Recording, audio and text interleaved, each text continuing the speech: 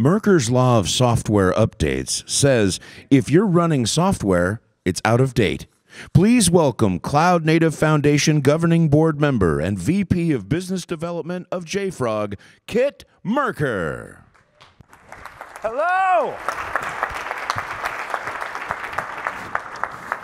I want you to all imagine the software that was built and crafted by developers, was run through CI and CD, was tested, is ready to be deployed, all ready to go, and it's just sitting there, uninstalled.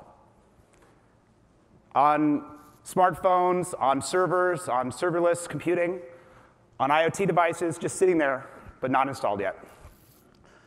You know, we heard about liquid software over the last couple of days, and it's this idea that software is going to flow from the hands of developers to customers, and it's going to be seamless and beautiful, and it's just going to work. But where we are right now, all of us, I kind of think it's about to hit us in the face. And like this guy, it's like right here. This is where we are. Liquid software hasn't quite uh, come, to, to come to us. And we want to make it real, and we want to make it easy, but, but is it? Now, before I go on, I want to say a couple things before I get started, because I noticed that Kieran is hiring uh, for Uber. Where's Tali, our VP of Sales? She signed up to be a driver at some point, so you should probably uh, submit your resume. But what I really want to talk to you about today is explosions. Huh?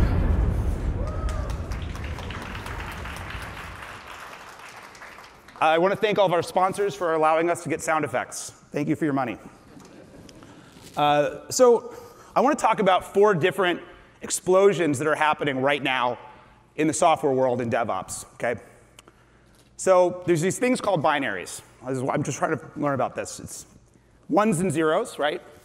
And it turns out, I was shocked to learn this, the order of the ones and zeros actually matters. So um, I know, it's like surprising. And then you think about, well, we don't write ones and zeros. We type it out in our own languages, and then we compile them, and then that turns into different orders of ones and zeros.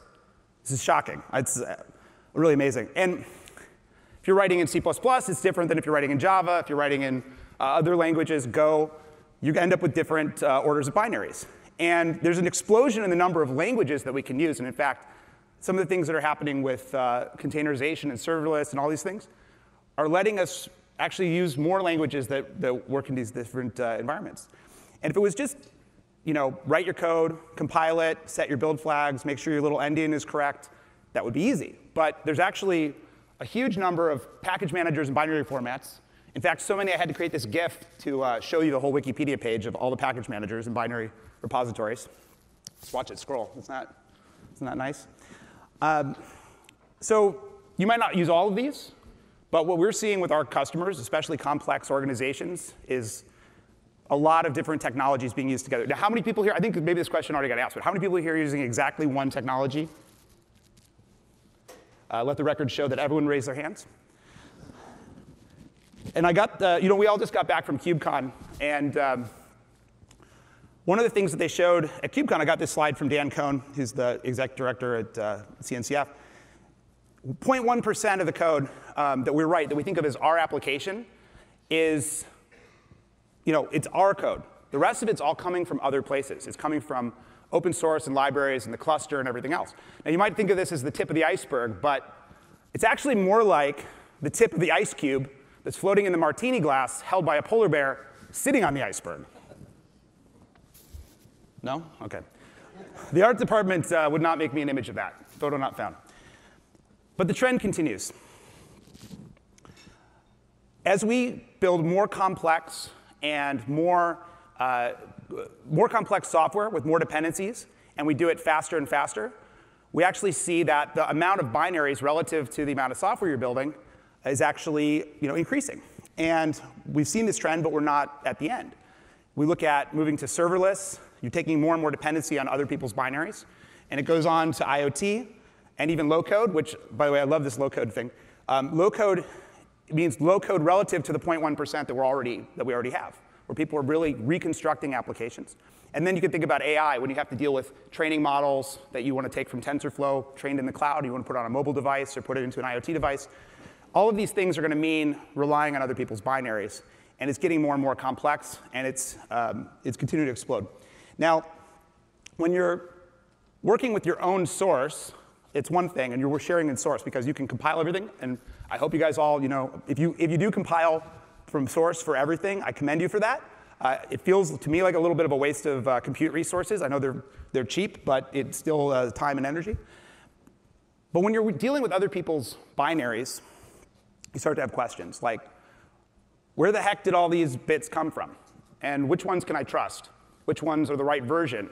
Compatible, secure, performant, certified, signed, all of these questions that you have. And on top of that, it's not just the questions of today, of your new binaries, it's also the questions for what have I already deployed when a new vulnerability is detected or a new exploit is found, a new class of exploits found. In fact, the only way to, to really solve this problem is to know where the binaries are located in your, in your uh, production environment, to know where it's already been uh, vulnerable for you. You can't predict it in advance. What we're seeing is an explosion of data, and the metadata about binaries is the key to answering these questions about other people's binaries. You can applaud if you'd like. That would be great. Yeah, this, okay. One guy agrees. Um, the, what we're seeing in data outside of our domain, when you think about predicting what movie you want to watch, or predicting or automating a complex industrial process, these same techniques can be used in software. It turns out, now that we have these automated CI pipelines and artifacts stored and tests automated, this byproduct of sharing and building and testing and running and getting customer feedback actually can be used to inform our decisions about software and make it run better. Another explosion we're seeing is the cloud native landscape. Now, I'm going to go through each one of these one by one, so I, I don't worry. Um, we'll get into the details. Uh, but we look at the landscape in cloud native computing, and it's, it's amazing. It's astounding to me. We are seeing so many libraries and frameworks that are reusable that are driving uh, new ways to do computing.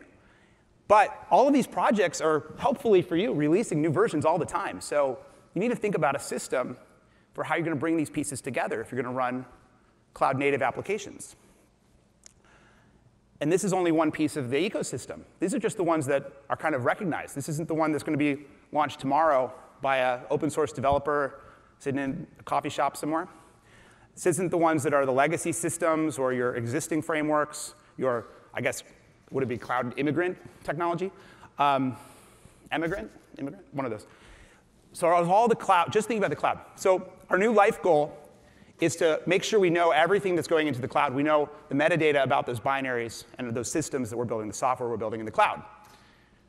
But the cloud is only half the battle because the other place that software is running is in devices. Now, today, I'm not talking about the future, I'm not a visionary, I'm just talking about right now. There are three devices for every human on the planet today. And this trend is predicted to continue, that we'll see more and more of these devices. And all of them are out of date. All of them are running software that needs to be updated, that isn't installed. And to update these devices, you actually have to have the confidence to bring your binary and have the right answers to those questions at the right time. So, so what do we do? So this, this whole idea of keeping these pieces together and working, uh, luckily for me, I don't have any answers. Um, it's frightening, though, in a way. It's actually frightening. But to help us uh, solve this problem, I want to call someone to the stage. Uh, Dror Bereznitsky, our VP of Product. He's going to he's, uh, he's going to fix it for us. Here you go. Here you go. Good luck. Thank you. Hey, everyone. So I would like to talk about four challenges that uh, organizations are facing today. So the first one is uh, creating a globally distributed uh, DevOps toolchain. And then I want to talk about uh, trusting your software. and software distribution at a global scale, which is different from the first one, although it sounds the same. And finally, about measuring and analyzing your uh, DevOps lifecycle. So the first challenge is a globally distributed uh, DevOps tool, toolchain, and this is quite a common scenario for organizations. So it can be that you have um, globally distributed teams, multiple development sites, and it can be that uh, your CI environment is in, on another site or in the cloud, or simply because you need a DR environment for, for your uh, CI. And um, in order to do this, you need the binaries flowing between all those environments, all those sites. And this is something we've been doing in JFrog for quite some time. We're using Artifactory and replication, and I guess that a lot of you are already doing it today. But there is one challenge and another thing we realized that you need to do in order to, to make this work. And this uh, is about who can access those binaries. So it can be humans, it can be machines, but eventually you want to make sure that you have the same permissions, you have the same users, the same access tokens all across those sites. And today, in order to do it um, with Artifactory, you need to do some kind of calling REST APIs or some scripting, and we wanted to improve this. So about a year ago, we launched uh, JFrog Access. This is a service that comes with Artifactory. If you're using Artifactory 5 or newer, you already have it and using it. And JFrog Access is about managing, managing everything related to authentication and authorization for Artifactory. So it's uh, your users, it's your groups, it's the permissions, and it's the access tokens. Now, in the last couple of months, we've been working on connecting all of the JFrog products to Access. And this will uh, basically allow you, first of all, to have one set of users and groups and permissions uh, for all the tools. You will not have to replicate or create multiple users all across the tools. And this will also enable you to do SSO between the JFrog tools. So if you log into Artifactory, you will not need to log in again to Xray. And I guess this, this is quite nice, but it's not really solving the problem that uh, I started with. And in order to do it, uh, I would like to introduce a new access functionality called Access Federation. And Access Federation is all about synchronizing uh, your users, your groups, your tokens, your permissions between different sites. So this is something I know a lot of you have been asking for, and now we're delivering. And Access Federation will allow you to connect uh, two or more multiple uh, uh access servers can be in multiple sites and synchronize um, everything related to security between them. So it can be unidirectional synchronization or it can be bidirectional synchronization. Uh, so let's think about it. I have a development site in, in the US, US West. I create a new access token. Immediately, I can use the same token in my other development center in the East Coast. And this will allow you to create those uh, kind of topologies, for example, a full mesh topology. So today you can do it with Artifactory and replication. And now you can complete the picture by using uh, Access Federation and have um, all your credentials uh, synchronized as well. OK, so the second challenge is about trusting your software. Now, I, I plan to have this kind of introduction, but then all of you heard John Willis yesterday talking about security and those kids with hoodies and no pants. No, so I don't really need this introduction. You understand why you need to trust your software. But trusting your software is not just about uh, security vulnerabilities. It's also about making sure that you are not using open source licenses that might endanger your company or, or your customers, in fact. It's also about making sure that when you uh, distribute or deploy your software, this is exactly what you wanted to deploy. It's the exact version. Nobody changed the bytes on the way. And this is not such an easy problem in today's world because, uh, for example, applications have changed from monoliths into those microservices that are on Docker images. And each one of those Docker images is, it has its own operating system with some packages on it. And then the applications, and you saw that every, every other day there is a new package type that's coming in. So so the slides from Kit. So you need to be able to identify vulnerabilities with all those package types. And it's, uh, it's becoming a complex problem. And two years on this stage, we announced uh, JFrog Xray. And JFrog Xray is exactly meant to allow you to trust your software and to trust your software all across the DevOps lifecycle. So if we start from the uh, code phase, then uh, we have an IDE plugin that allows the developers to connect to Xray. And once they are adding new uh, dependencies to their projects, they can see whether they are vulnerable, if there are any known vulnerabilities, and what is the open source license they are using. So it's a good way to stop vulnerabilities in, at an early stage of the process. Um, and, and, this is actually the, the, the, best time because the cost is the lowest. And afterwards, while you're building at the build phase of uh, your life cycle, um, we have uh, plugins for CI servers, for multiple CI servers, or you can do it with our CLI. And this allows you to scan your build or all the artifacts you're producing and all the third parties you are using during your, at build time, and then make decision if something is found to be vulnerable. You might want to break the build, you want, want to take other actions.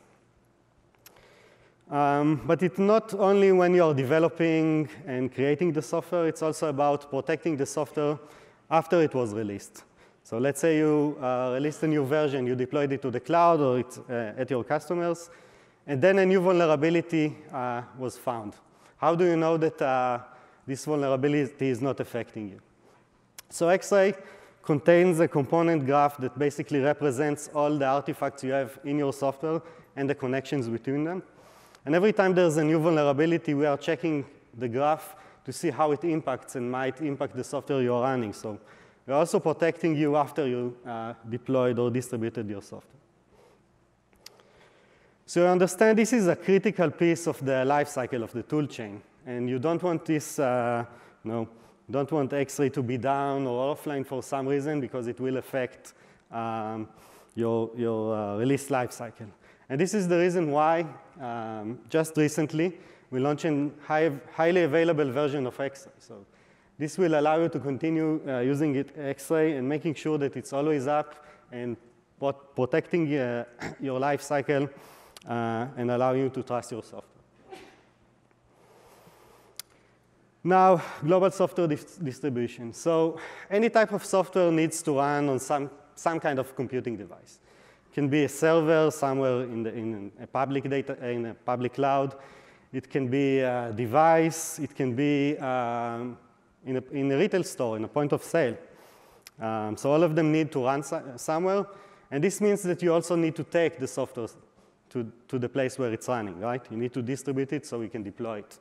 Um, and this might sound like a trivial issue because you just need to copy bytes, okay?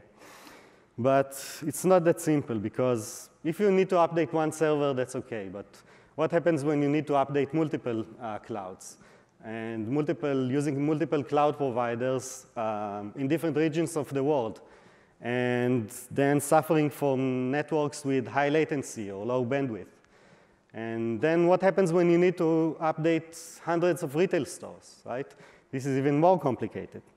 And think about all those devices the kids spoke about. What happens when you need to update millions, millions of devices? Okay, so this is a, a bit of a challenging problem.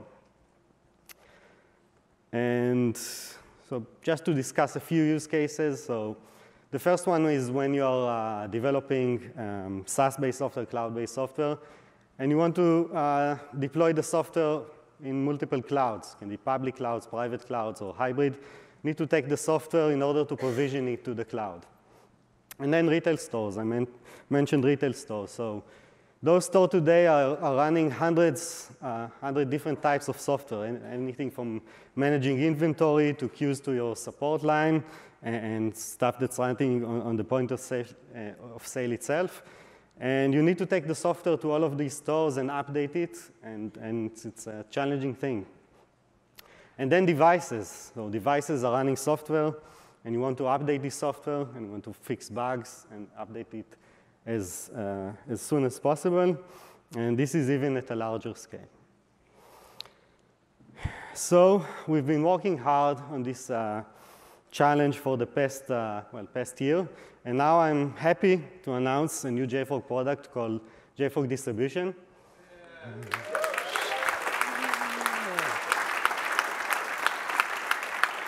Thank you. And JFrog distribution is exactly about allowing you to distribute software to wherever you need it. So it's going to be based on a new concept called release bundles. Release bundles are basically a bill of materials for your uh, release. It means that it contains a list of artifacts, all the artifacts that you want to distribute. It can be for multiple builds, it can cover multiple microservices or one application, it's up to you. And it's kind of similar to build-info for those who are using it today. It's a similar concept, um, but op, I mean, meant for the uh, releases. And once you create a release bundle, um, it's immutable. So you know what you want to distribute, you lock it down, and then nobody can change it. So nobody can mess with your releases. And JFrog distribution is built on top of Artifactory. So Artifactory already knows how to deal with your artifacts. And basically, distribution is coordinating, it's orchestrating all the distribution of the artifacts between the different Artifactory servers. And for this, we are also introducing a new version of Artifactory called Artifactory Edge Node. So the edge nodes are meant to be uh, deployed as close as possible to your runtime environment. So it can be in your retail store, it can be in the, uh, in the public cloud, or it can be a gateway to IoT devices. And the edge nodes are optimized to deal with uh, distributing software. So they take care of immutability, they take care of security, and they know release bundles as a first-class citizen. Now, what we have also done is uh, created a new optimized replication algorithm.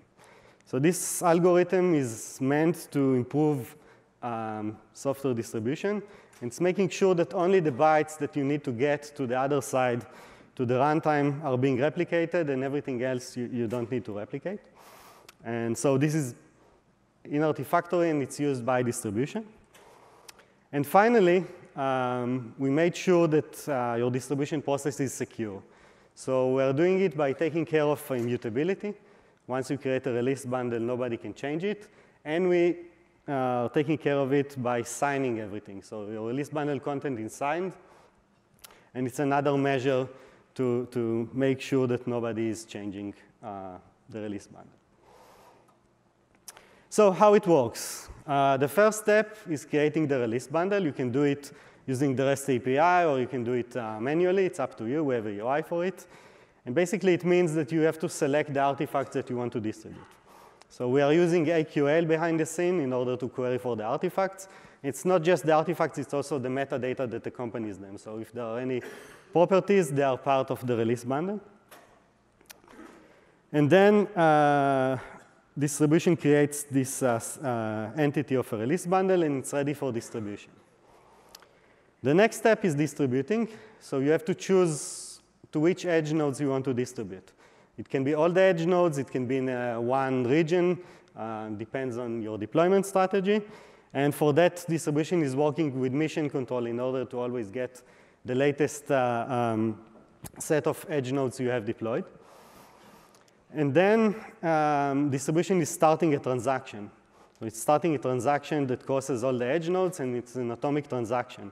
So we want to make sure that um, distribution is atom an atomic uh, action.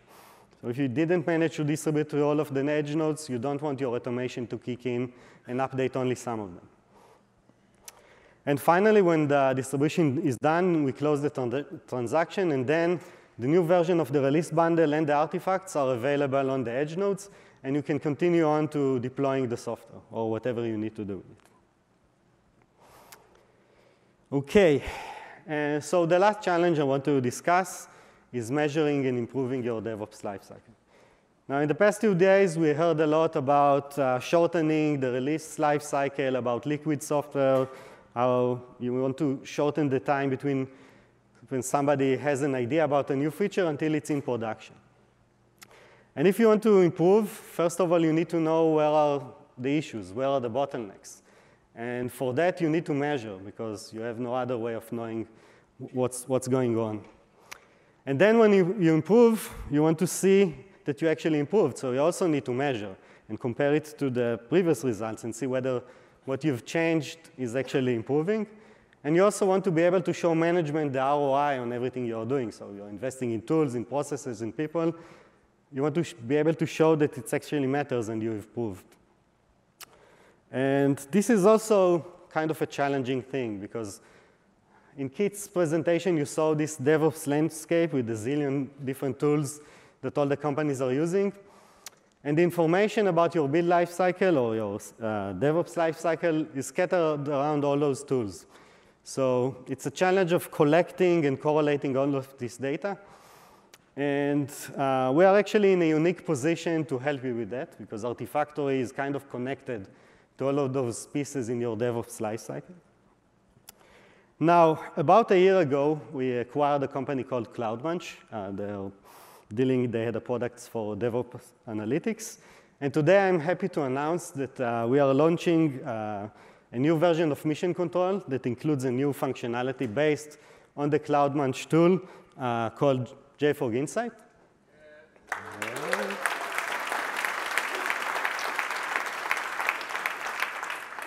And JFrog Insight is a single place for insights about your release lifecycle.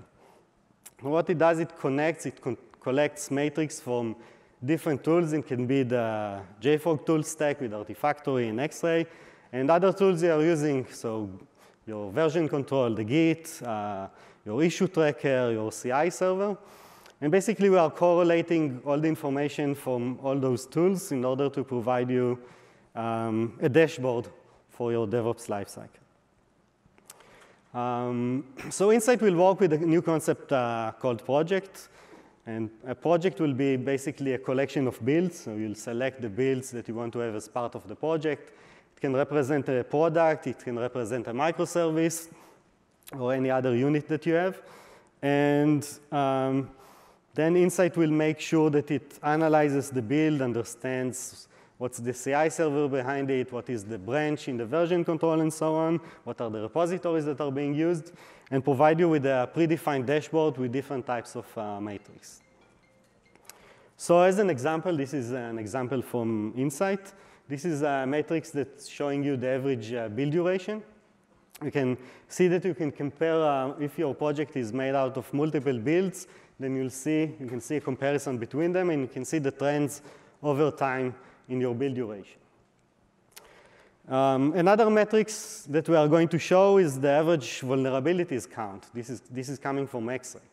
And this allows you to see if you're improving, if your uh, developers are solving those vulnerabilities or they're just keep on stacking up.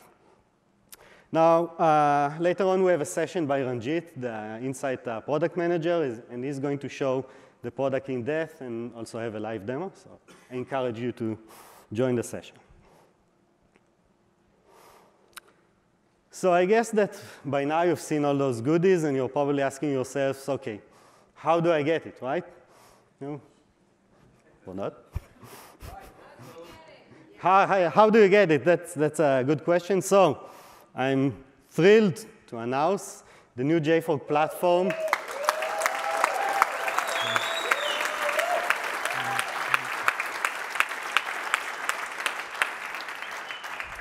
It's already, if you go to our website, you can already start a trial. It's out there. It's live. And JFrog Enterprise Plus is a new DevOps platform that basically allows you to manage your DevOps lifecycle from code until you get to a successful deployment or to update your software. And what we have inside is everything that I spoke about and, and even more. So it starts the flow with Artifactory in your CI environment, taking care of the build artifacts.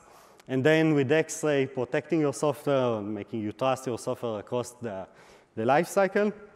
And once it's ready for production, we have distribution and the edge nodes to take it all the way to the runtime. Now underneath uh, all of this, we have the JFrog Access. This will provide authentication and authorization services and SSO for all the products. And looking from above, we have mission control that's going to uh, help you manage this entire life cycle and also to measure it and to see how you're improving. Now, I've been talking too much about it, so um, in the past uh, uh, couple of months, we had a beta program with some of our selected uh, customers that were evaluating Enterprise Plus. And you are going to hear about it uh, pretty soon. But what I decided to do is, and, and during the Enterprise, uh, the, this beta, we actually used Enterprise Plus itself with all the services in order to um, deploy or publish new versions of Enterprise Plus to our beta customers. And what I would like to do now is to have a live demo of the environment. It's, it's, it's a clone of the environment that uh, we were using during the beta. So video guy, it's the time to move to the demo. Okay, so uh, I will actually start with uh, mission control.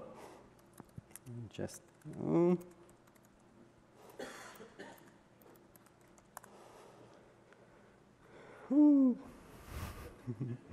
yeah. Uh, no, no, no, no. Okay. No, it's uh, wonders of live demos. yeah. Okay, good. Sorry for the glitch. So this is my environment. I have multiple sites. I have a development site in Europe. You can see this one is my uh, development site in Europe. This one contains all the versions uh, that I'm going to deploy. And then I have a couple of edge nodes. So I have uh, uh edge nodes on GCP and on AWS in the US. I also have one hiding here in Australia somewhere. And what I'm going to do in this demo, I'm going to create and release bundles for all of our products, and I'm going to distribute them to all of the edge nodes. But the first thing I would like to do is, um, once the software is distributed, I want to download it, and for this, I want to have an access token. This access token will allow you to authenticate and download the software. And I would like to use uh, Access Federation for that. So I'll go to the Access Federation configuration page. And here I can uh, configure the relationships between my access servers. So what I would like to do is create a new star topology. I can also have a mesh, but in this case I need a star. And here I select the source access, so this is the source. Whenever I'll, I'll create some new stuff in it, it will be synchronized to all the others. So I'm uh, taking uh, my environment in Europe, and then I will use the edge nodes as my targets. So when I create the um, access token in Europe, it will be synchronized to the edge nodes. So, and then I have to choose what I want to sync. So in this case, I will choose to sync everything, the users, the groups, the permissions, because I also have a permission target that I need to replicate. And let's click Finish. OK, so now I have Access Federation configured, and I just need to create my access token. So I will use the Artifactory REST API. I have this uh, Postman here. And I'm going to create an access token. And this is for a user called Robot. It's my Robot account. Um, and it has permissions to download. So, OK, I have this access token. I will get to it, get back to it shortly. Now let's look at the release bundles. So I'll switch to JFrog distribution.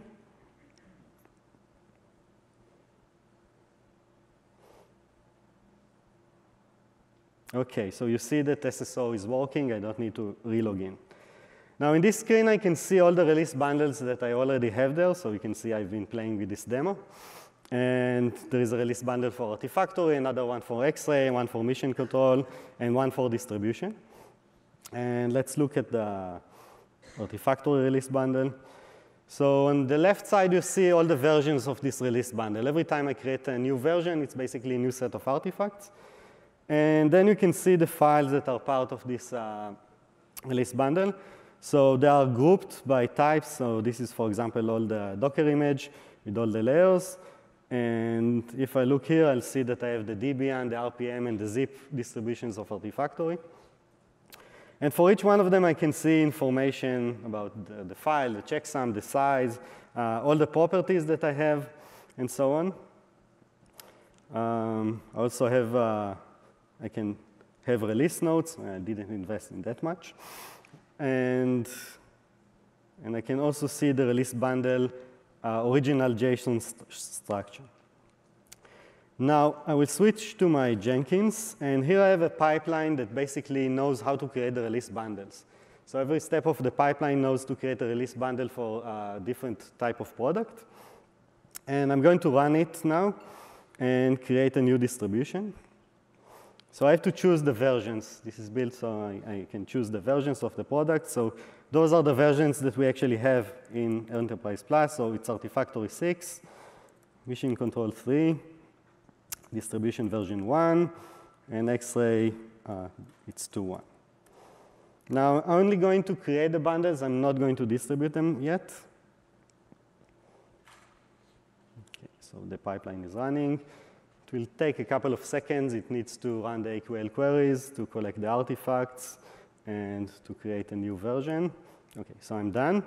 Um, let's go back to distribution. OK, so you can see that the latest version have changed. It's 179, same as my build. And if I look inside, you can see that I actually have Artifactory 6. Now, the next step, I'm going only to distribute Artifactory for the sake of the demo. So I'm going to do it from the UI. It's also possible to do it from the rest. And I'm going to choose distribute version. And now I have to choose uh, all the target edge nodes for the distribution and basically run distribute. I can track the progress of the distribution. Uh, you can see that it's moving OK, completed in US East, completed in uh, Google in US. OK, I completed the distribution. So now uh, the release bundle and the artifacts are actually on my edge nodes. So let's take a look at one of the edge nodes. Okay, here I need to log in because it's connected to a different access service.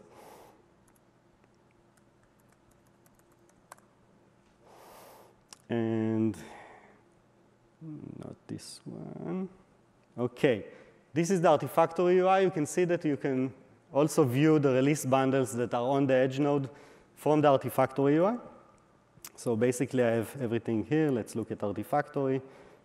It's exactly what I was expecting. So everything is ready, and now um, you need to do whatever you want to do to provision the software. In this case, I created this uh, small Python script that's um, running a REST API query on, uh, on the edge nodes, looking for the latest version of the release bundle. In the release bundle, it looks up the path for the RPM installer and downloads the file, and then verifies the checksum just to see that everything is good. And for that, I need my access token. Copy the access token, provide it to the script. And let's see. So now the script have found that the latest version is uh, 179. It found the RPM, performed and used the CLI, JFrog CLI, in order to authenticate and download the files. And finally, verify the checksum, and now I have Artifactory ready to be installed.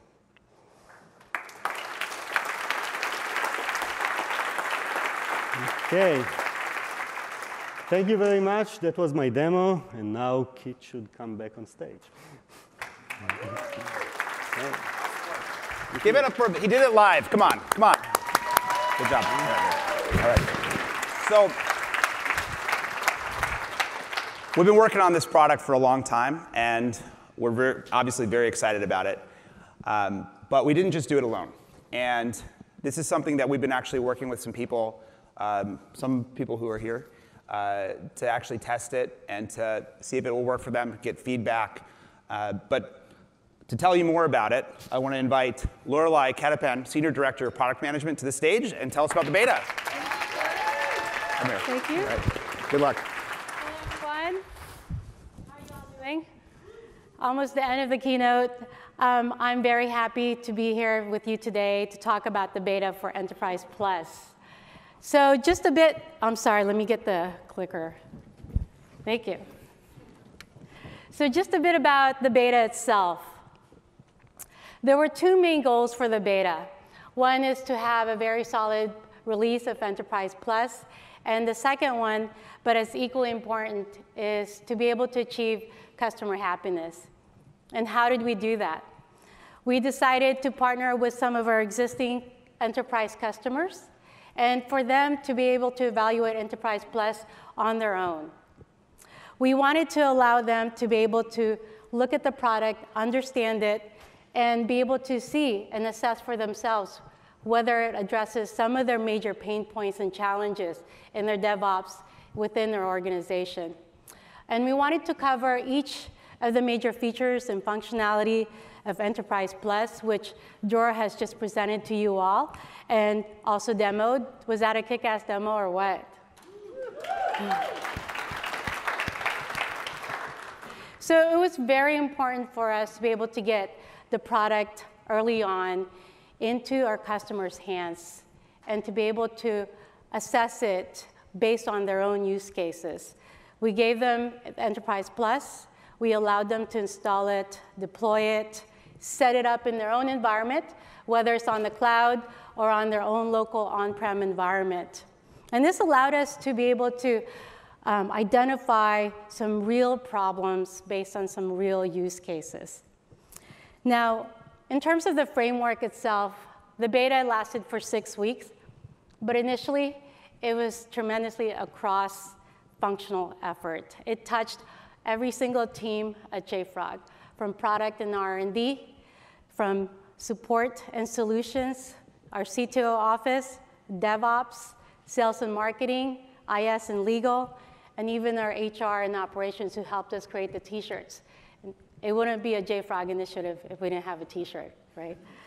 Um, and in terms of the team that supported our customers, we had a dedicated team for each of our beta customers to answer some of their questions, um, help them with the issues that they may have run into along their beta journey. We also held weekly sync ups with our beta customers to gather more feedback from them. In fact, I was looking at my, our um, an analytics, and we actually had 59 sessions total across the six weeks period. So now you're probably wondering who were our beta customers? We had eight amazing beta customers. And here they are.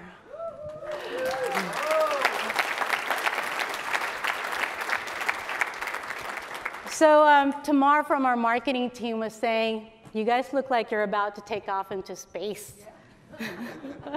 um, actually, our beta customers, if you didn't see the fine print in your EULA, you signed up to go to Mars with me after this talk. um, so you've probably seen them walking around yesterday and today with their awesome cool jackets, um, the binaries on the sleeves. And by the way, Kit, the ones and zeros, it does matter. The order does matter. In fact, these binaries spell beta. If you don't believe me, you can look it up. So our beta customers, there were eight of them, I said. There's Capital One, there's a Apple, Adobe, Align Tech, Fidelity, Oath, also known as Yahoo, Ericsson, and Citibank.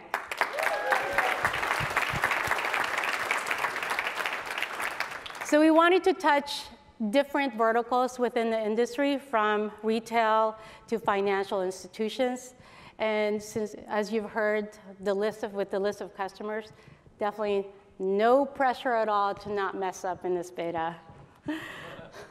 so at this point in time, if I may please ask our beta customers who are actually here sitting with you today at SwampUp to please stand up so that your peers can recognize you.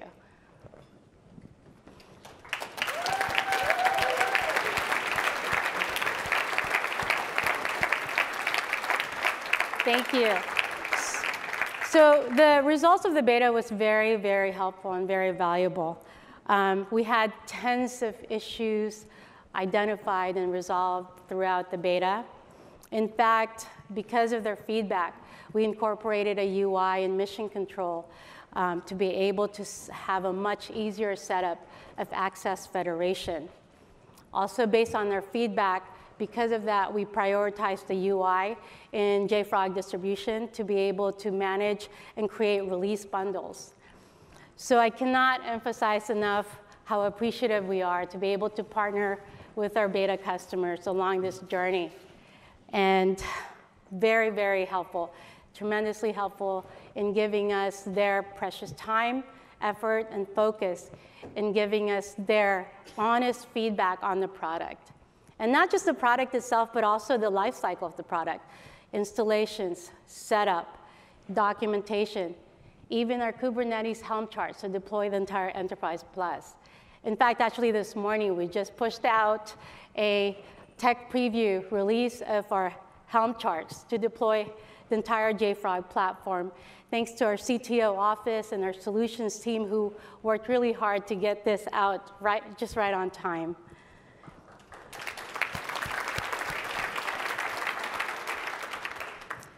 So because our customers tested, we're all able to leap forward ahead.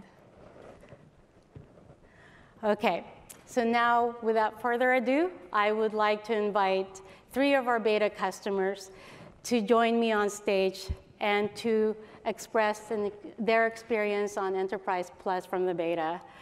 I will start off with our first guest, Artem from Align Tech.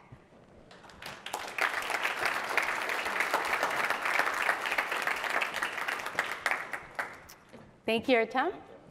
So Artem manages the DevOps and tooling team at Align Tech. He's actually responsible globally for making sure that all of the infrastructure and software in their software development lifecycle is, is working really well.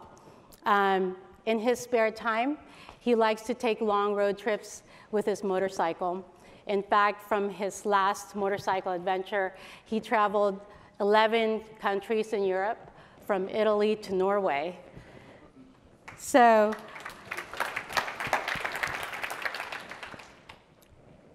our second guest is Wayne Chatelain from Capital One. Wayne.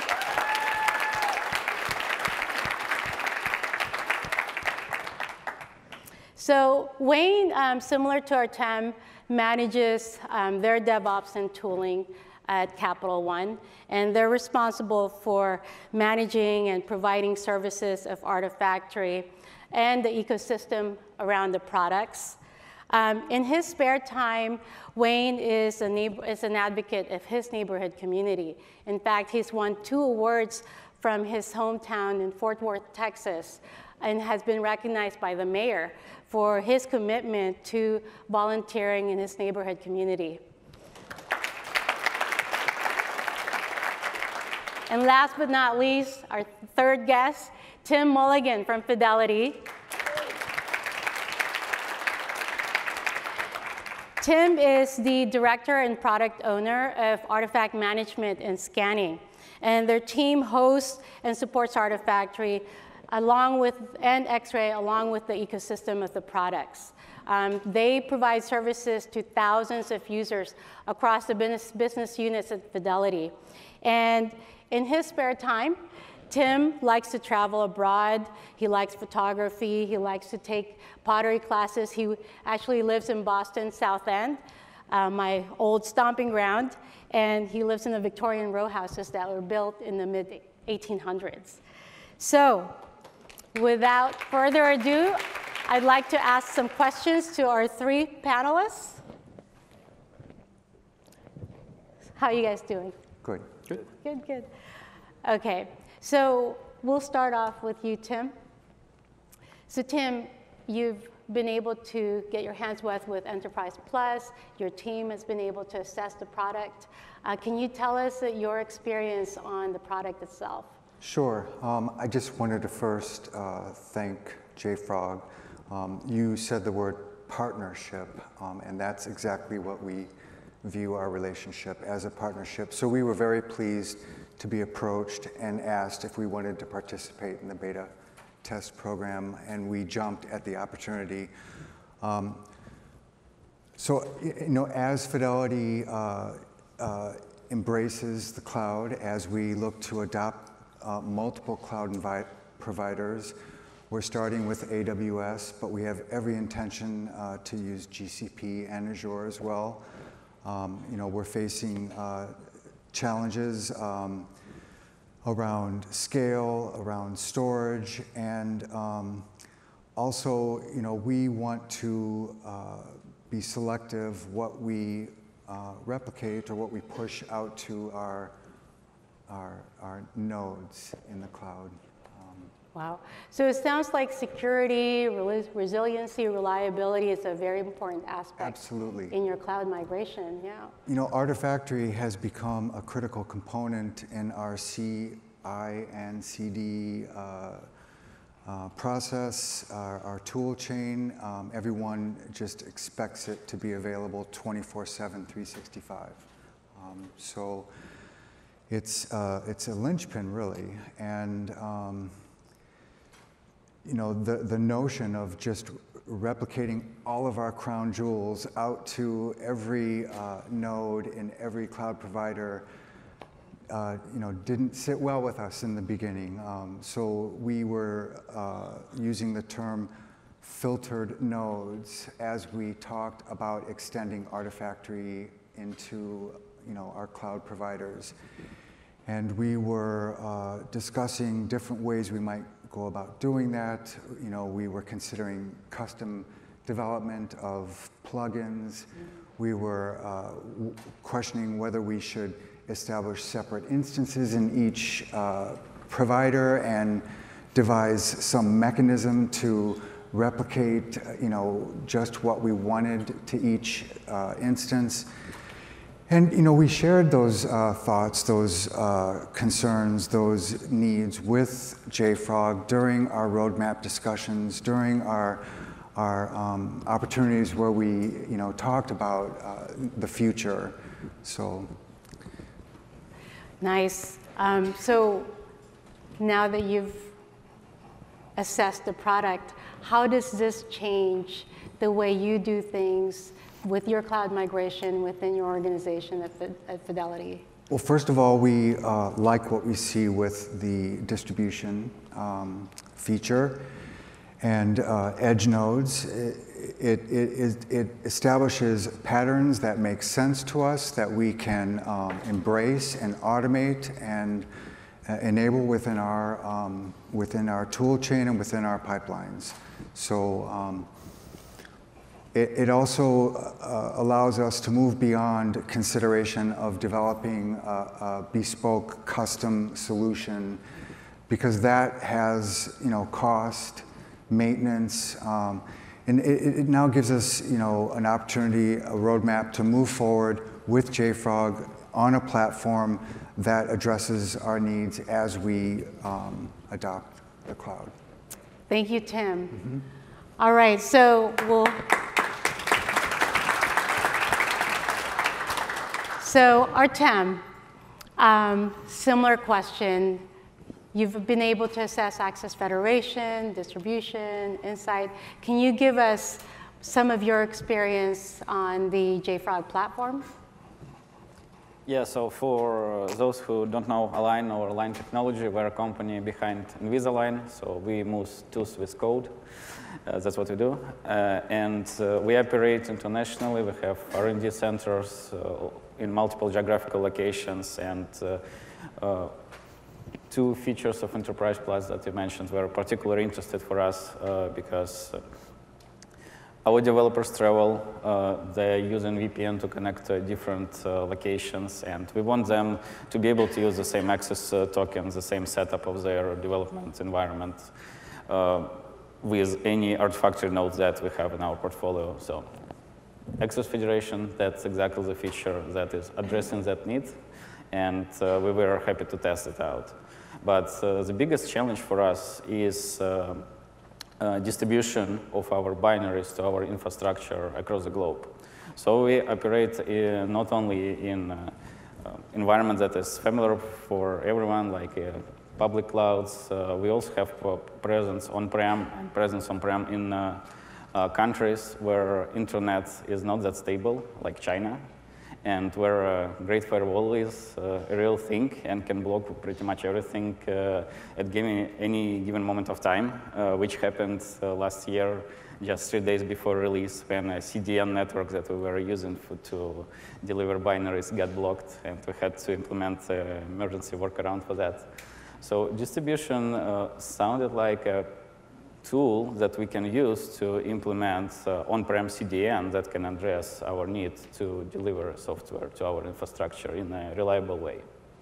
So it sounds like with distribution as a solution for you, it's about overcoming physics, overcoming high latency, low bandwidth to be able to distribute your software across different uh, areas in the globe.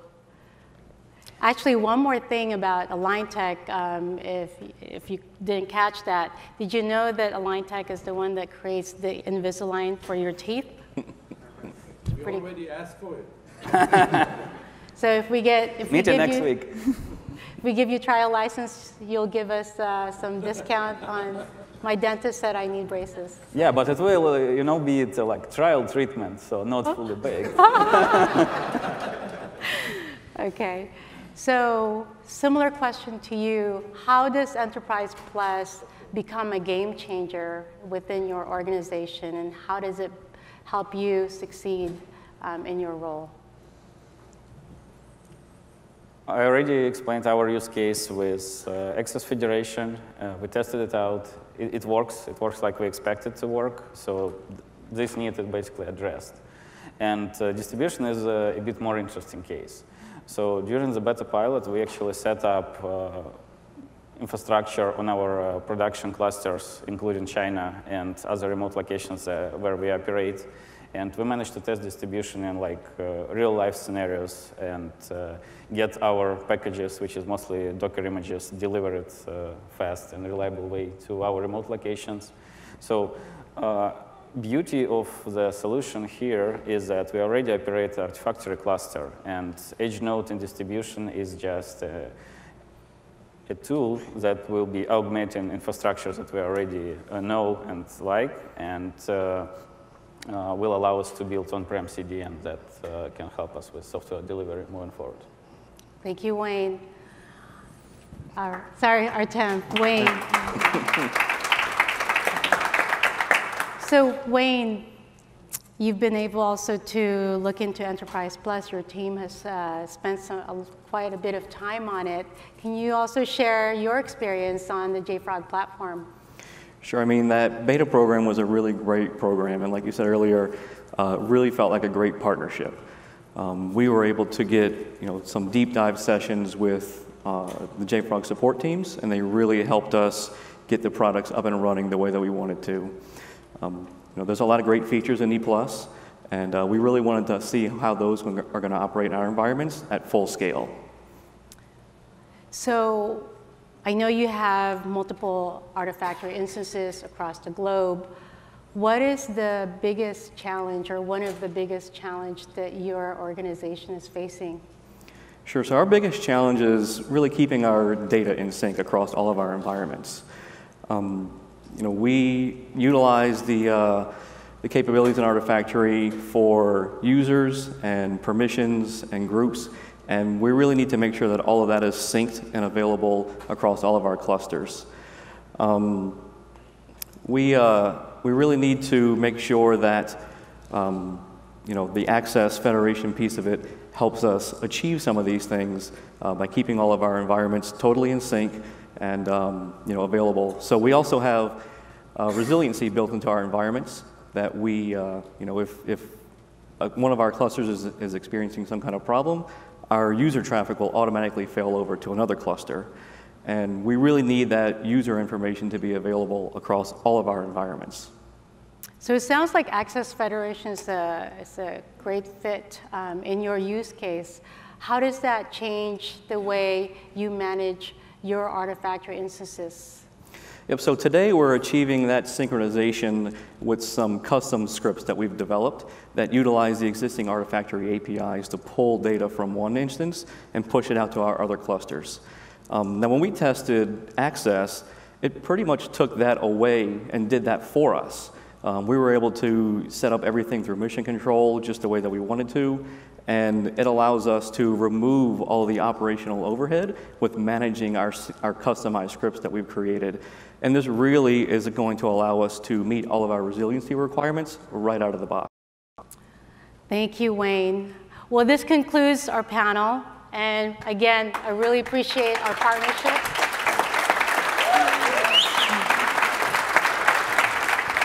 Thank you. I think we can go too. Thank you, Loreli. Thank you, everyone. All right. So we saw great demo. We heard from our customers. This is exciting. Now, what was I talking about? Oh, yeah, that's right. Explosions! I have to go to the next slide, though. Can you go to the next slide? I don't have the clicker. Oh, there it is. Thank you. These things get lost. Explosion!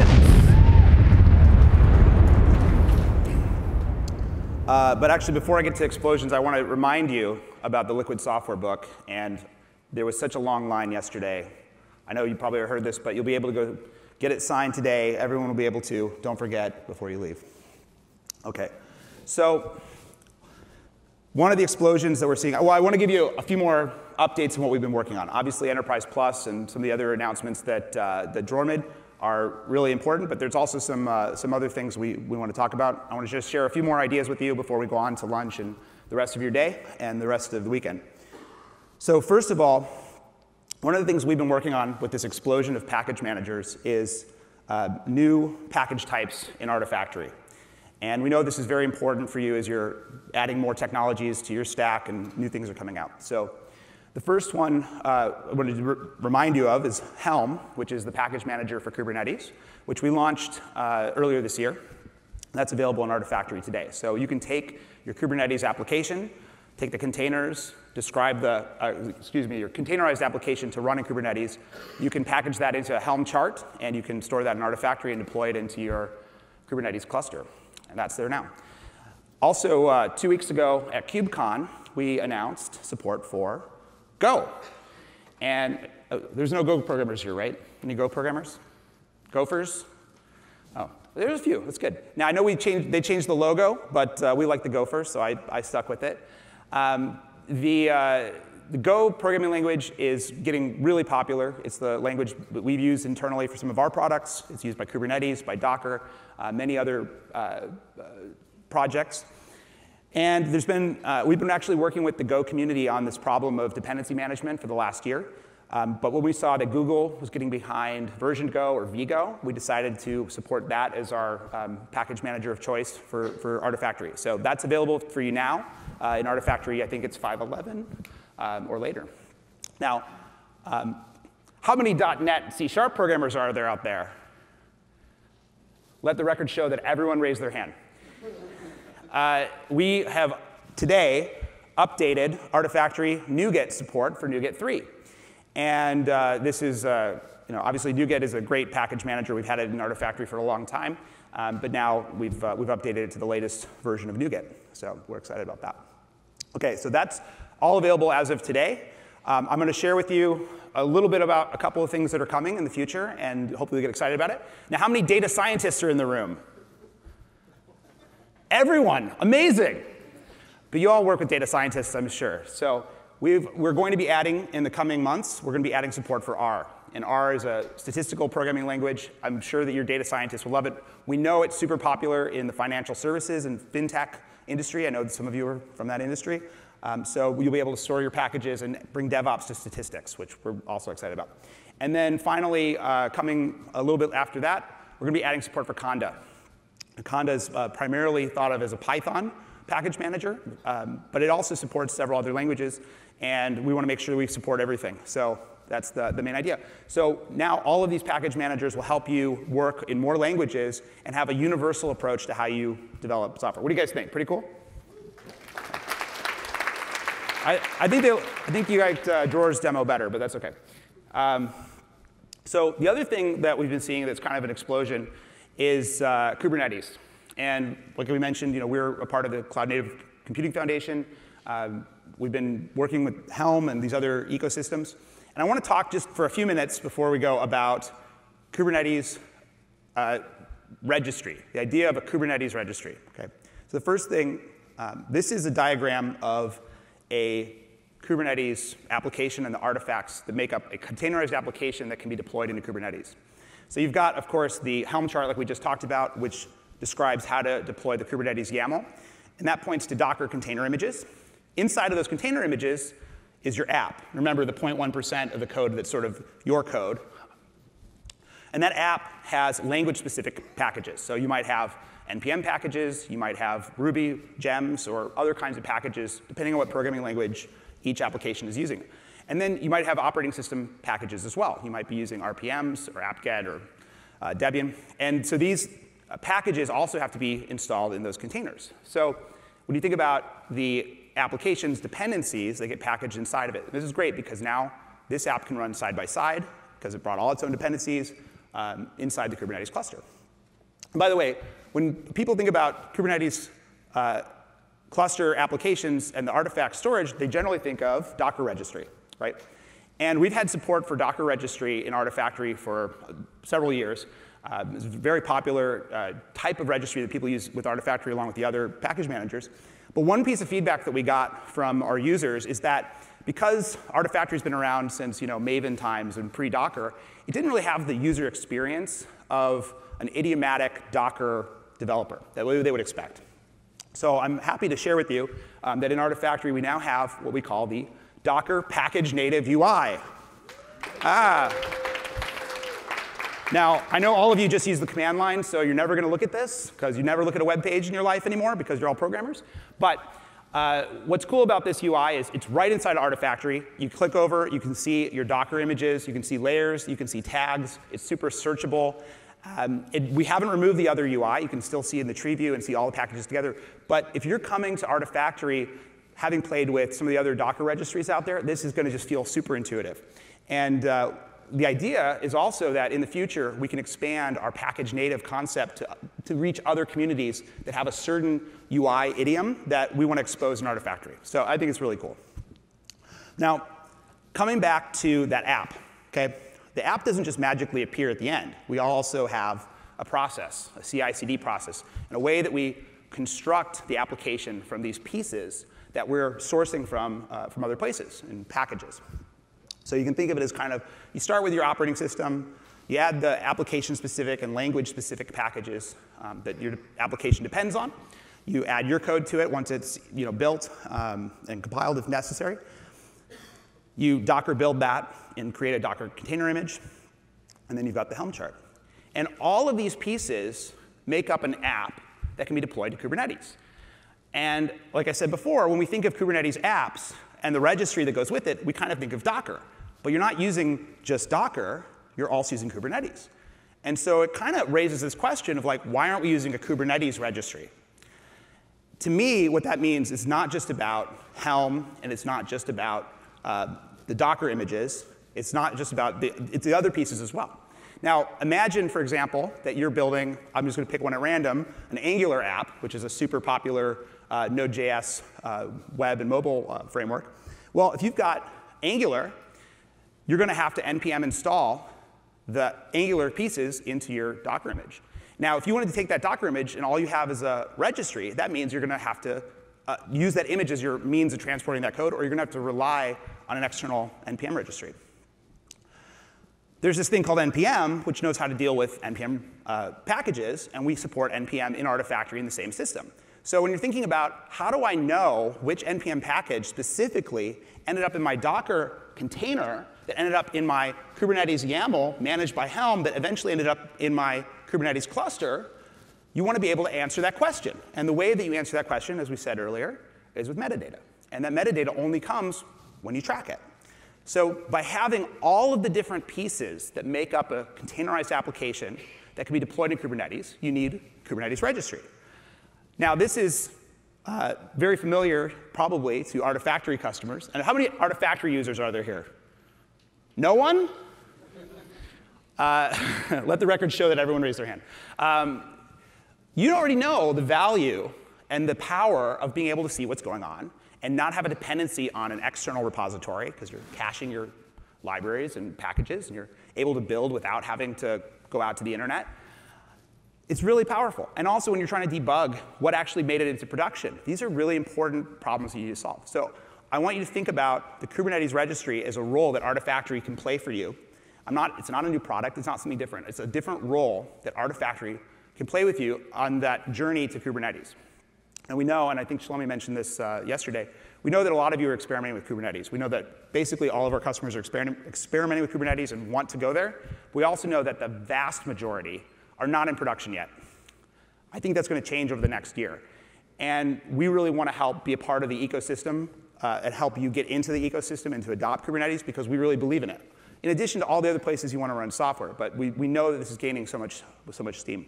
So we've, we started to build an ecosystem around this for us, where we're saying, the Kubernetes clusters in the market that we currently work with as their Kubernetes registry. And the, the icons I've got here are some of our great partners. And we've already uh, announced and released uh, integrations to make it easier so that you can use your uh, Artifactory uh, instance and your Artifactory system to store the containerized applications that will flow into these. If you go look, there are over 50 ways to run Kubernetes. I used to say 32 when they first announced the Kubernetes uh, certified clusters. I think it was 32 were announced on day one. And the number has just gone up from there. There's a new announcement all the time. I think Rackspace just announced uh, a couple days ago. Um, they chose to announce during SwampUp, of course, um, the uh, Kubernetes uh, cluster that they're going to offer. And this is, this is just today. And there's great partners that, that we're working with on, on these uh, solutions. And then we're looking to the future, and I'm happy to share um, three that we're focused on for the next iteration. We're working with Nutanix, um, with AWS, and with IBM. And we're going to continue to partner with, uh, with uh, Kubernetes offerings in the market to uh, deliver a really comprehensive artifact management story that's optimized for containers. Now, if you have feedback about what container or Kubernetes uh, solutions or companies you're working with, we'd love to hear it. Um, we'd like to make sure that we're, we're meeting customers where they're actually deploying software. So um, at the beginning, I kind of talked about the water balloon hitting you in the face. But hopefully together, this is more what it'll look like. Ah. Explosions! Now, see, they're not ready. Oh, there it was. All right. Thank you very much. Before I finish, before you apply, oh, go ahead and apply. That's fine. Good. All right. I just want to say a, couple things. I know this is the last keynote of the day. I know you're anxious to get your book signed and go get food and everything else. Um, first of all, thank you to our sponsors. We could not have done this event without you. We couldn't do our business without you. Give a round of applause to our sponsors, please. I, I'm, uh, I'm continually humbled by who will actually answer the phone when I call. Uh, in, the, in the market. These companies that we're working with are just uh, amazing companies, and they, they do so much um, and they, they love, we love working with all of them. Um, I also want to encourage you to stop by the expo if you haven't. Uh, you know, it's a, a, great space to go and talk to people and, and to get connected. It's going to be uh, near where the book signing is happening, so please do that. And then, on behalf of JFrog, I just want to thank all of you, every single one of you, for your attention, for your energy, for your insight about the market and what's going on in DevOps you should all be proud of yourselves, honestly, for what you're doing to change your culture, your company, your technology. It's, it's just amazing. And I want you to give yourselves a round of applause, please.